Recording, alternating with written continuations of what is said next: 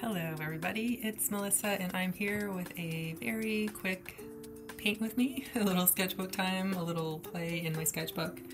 Um, I'm doing what Helen Cryer here on YouTube calls a splodge and paint or something like that, um, where you put down paint first and then you go over it, um, do the lines with ink afterwards.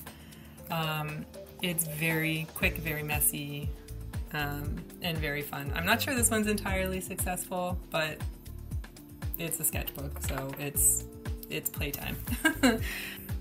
I am using a Talens Art Creation sketchbook, and the watercolors that I'm using are HWC Holbein Artist Watercolor. Uh, I picked them up when I was in Japan. You can check out my Japan um, travel vlog and also my art supply haul if you're into that kind of thing, and I know we're all into that kind of thing.